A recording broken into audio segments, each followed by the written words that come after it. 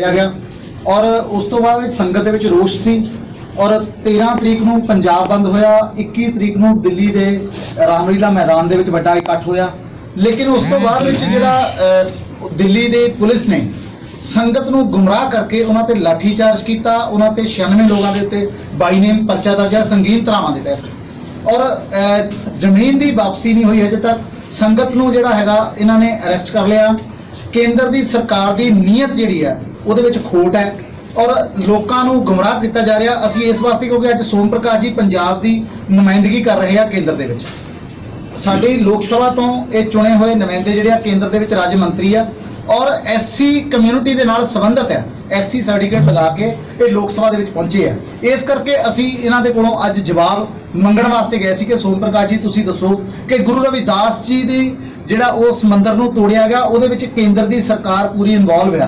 ਤੇ ਤੁਸੀਂ ਕੇਂਦਰ ਦੀ ਸਰਕਾਰ ਨੂੰ ਜਿਹੜਾ ਹੈਗਾ ਇਹਦੇ ਤੇ ਤੁਹਾਡਾ ਕੀ ਸਟੈਂਡ ਹੈ ਕੀ ਕਹਿ ਰਹੇ ਹੋ? ਕਿਉਂਕਿ 13 ਤਰੀਕ ਨੂੰ ਅਸੀਂ ਹਰਦੀਪ ਸਿੰਘ ਪੁਰੀ ਜਿਹੜੇ ਅਹ, ਜਿਨ੍ਹਾਂ ਦੇ ਕੋਲੇ ਮਹਿਕਮਾ ਅਰਬਨ ਡਿਵੈਲਪਮੈਂਟ ਦਾ ਉਹਨਾਂ ਨੂੰ ਵੀ ਮਿਲੇ ਸੀ। ਲੇਕਿਨ ਸਾਨੂੰ ਕੋਈ ਤਸੱਲੀ ਬਖਸ਼ ਜਿਹੜਾ ਜਵਾਬ ਨਹੀਂ ਮਿਲਿਆ। ਇਸ ਵਾਸਤੇ ਅੱਜ ਗਏ ਸੀ। ਨਹੀਂ ਅਸੀਂ ਜਿਹੜਾ ਅੱਜ ਦਾ ਪ੍ਰੋਟੈਸਟ ਆ ਇਹਦੇ ਵਿੱਚ ਸਾਰਿਆਂ ਨੂੰ ਅਸੀਂ ਜਿਹੜਾ ਹੈਗਾ ਸੱਦਾ ਦਿੱਤਾ ਸੀ। ਇਹ ਕੋਈ ਰਾਜਨੀਤਿਕ ਪਾਰਟੀ ਦਾ ਪ੍ਰੋਟੈਸਟ ਨਹੀਂ ਸੀ।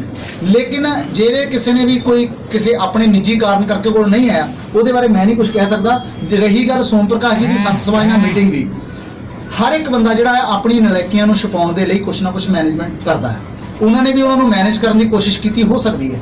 ਲੇਕਿਨ ਅਸੀਂ ਉਹਨਾਂ ਦੇ ਜਵਾਬ ਤੋਂ ਸੰਤੁਸ਼ਟ ਨਹੀਂ। ਅੱਜ ਤਾਂ ਆਪਾਂ ਇਹ ਕਹਿ ਸਕਦੇ ਹਾਂ ਦੁਰਭਾਗਯਪੂਰਨ ਜਿਹੜਾ ਹੈਗਾ ਅਰੁਣ ਜੇਤਲੀ ਜੀ ਦੀ ਕਹਿੰਦੇ ਮੌਤ ਹੋ ਗਈ ਆ ਜਿਹਦੇ ਕਰਕੇ ਸੋਮ ਪ੍ਰਕਾਸ਼ ਜੀ ਦਿੱਲੀ ਚਲ ਗਏ। ਹੁਣ ਇਹ ਤਾਂ ਪਤਾ ਨਹੀਂ ਵੀ ਸੋਮ ਪ੍ਰਕਾਸ਼ ਜੀ ਜਿਹੜੇ ਗਏ ਆ ਉਹ ਅਰੁਣ ਜੇਤਲੀ ਦੀ ਮੌਤ ਕਰਕੇ ਗਏ ਆ ਜਾਂ ਇੱਥੋਂ ਉਦਾਂ।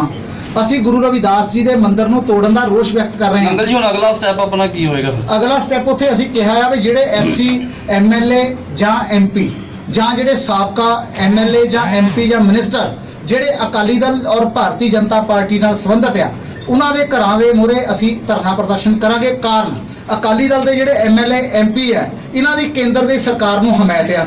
ਜੇ ਇਹ ਗੁਰੂ ਰਵਿਦਾਸ ਨਾਮ ਲੈਵਾ ਸੰਗਤ ਨੂੰ ਇਹ ਕਹਿ ਰਹੇ ਆ ਕਿ ਅਸੀਂ ਤੁਹਾਡੇ ਨਾਲ ਆ ਤਾਂ ਕੇਂਦਰ ਦੀ ਸਰਕਾਰ ਦੇ ਕੋਲੋਂ ਆਪਣੀ ਮਿਨਿਸਟਰੀ ਜਿਹੜੀ ਉਹਨਾਂ ਦੇ ਮੂੰਹ ਤੇ ਮਾਰਨ ਤੇ ਇੱਕ ਸਮਰਥਨ ਵਾਪਸ ਲੈਣ। ਸਰ ਇੱਥੇ ਸਮਾਜ ਦੇ ਨਾਲ ਖੜਨ। ਜੇ ਕੇਂਦਰ ਰਾਜ ਮੰਤਰੀ ਸੋਮ ਪ੍ਰਕਾਸ਼ ਜੀ ਦੇ ਅਸਤੀਫੇ ਦੀ ਵੀ ਮੰਗ ਚੱਲੀ ਸੀ ਅਸੀਂ ਅੱਜ ਇਸੇ ਕਰਕੇ ਗਈ ਆ ਵੀ ਜੇ ਤਾਂ ਤੂੰ ਬੀਜੇਪੀ ਦੇ ਨਾਲ ਆ ਤਾਂ ਫਿਰ ਸੰਗਤ ਦਾ ਸਾਥ ਛੱਡ ਦੇ। ਜੇ ਤੂੰ ਗੁਰੂ ਰਵਿਦਾਸ ਨਾਮ ਲੈਵਾ ਸੰਗਤ ਦੇ ਨਾਲ ਆ ਸਮਾਜ ਦੇ ਨਾਲ ਆ ਤਾਂ ਫਿਰ ਬੀਜੇਪੀ ਦੇ ਮੂੰਹ ਤੇ ਰਿਆਨ ਮਾਰ ਦੇ। ਕੁਛ ਤਾਂ ਕਰ। ਜੇ ਤੂੰ ਕਹਿੰਦਾ ਵੀ ਉਧਰਲੇ ਨੂੰ ਵੀ ਗੁੰਮਰਾਹ ਕਰੀ ਜਾਣਾ ਉਧਰਲੇ ਨੂੰ ਵੀ ਗੁੰਮਰਾਹ ਕਰੀ ਜਾਣਾ ਉਹ ਕੰਮ ਜਿਹੜਾ ਹੈਗਾ ਸਾਨੂੰ ਬਰਦਾਸ਼ਤ ਨਹੀਂ। ਅਸੀਂ ਉਹਦੇ ਚਿਹਰੇ ਤੋਂ ਨਕਾਬ ਉਤਾਰਾਂਗੇ। ਜਰਨੈਲ ਜੀ 21 ਤਰੀਕ ਨੂੰ ਬਹੁਤ ਵੱਡਾ ਪ੍ਰਦਰਸ਼ਨ ਹੈ ਜੀ। ਤੁਹਾਡੀ ਸਰਕਾਰ ਦੇ ਨਾਲ ਜਿਹੜੀ ਦਿੱਲੀ ਦੀ ਸਰਕਾਰ ਹੈ ਉਹਨਾਂ ਦੇ ਨੁਮਾਇੰਦਿਆਂ ਨਾਲ ਵੀ ਗੱਲਬਾਤ। ਕੀ ਆਸ਼ਵਾਸਨ ਜਿਹੜਾ ਉਹਨਾਂ ਨੇ ਦਿੱਤਾ? ਦੇਖੋ ਜੀ 21 ਤਰੀਕ ਨੂੰ ਕਿਸੇ ਨੁਮਾਇੰਦੇ ਦੇ ਨਾਲ ਗੱਲ ਨਹੀਂ ਹੋਈ।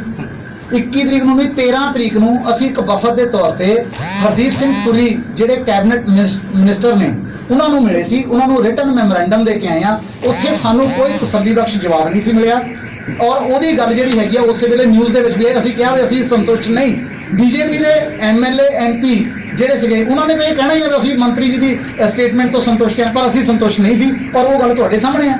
ਅਜੇ ਤੱਕ ਕੇਜਰੀਵਾਲ ਦੀ ਸਟੇਟਮੈਂਟ ਦੇ ਉਹਦੇ ਤੋਂ ਕੋਈ ਨਹੀਂ ਆਇਆ ਸਹੀ ਹੈ ਕੇਜਰੀਵਾਲ ਸਰਕਾਰ। ਕੇਜਰੀਵਾਲ ਜੀ ਦੀ ਜਿਹੜੀ ਸਟੇਟਮੈਂਟ ਹੈਗੀ ਆ ਉਹ ਵੀ ਅੱਜ ਮੌਕਾ ਦੇਖ ਕੇ ਉਹਨਾਂ ਨੇ ਦਿੱਤੀ ਆ ਕਿਤੇ ਇਹ ਸਮਾਂ ਰਹਿੰਦਿਆਂ ਦਿੱਤੀ ਹੁੰਦੀ ਤਾਂ ਸ਼ਾਇਦ ਇਹਦੇ ਵਿੱਚ ਵਜਨ ਜ਼ਿਆਦਾ ਹੁੰਦਾ।